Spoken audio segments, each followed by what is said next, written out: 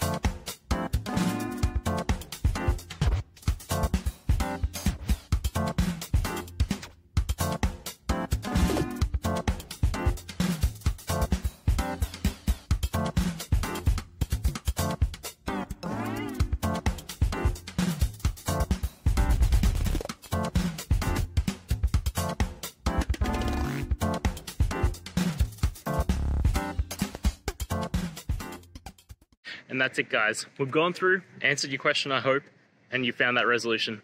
Guys, if this helped, please hit subscribe. I'd really appreciate it. And until next time, have a good one.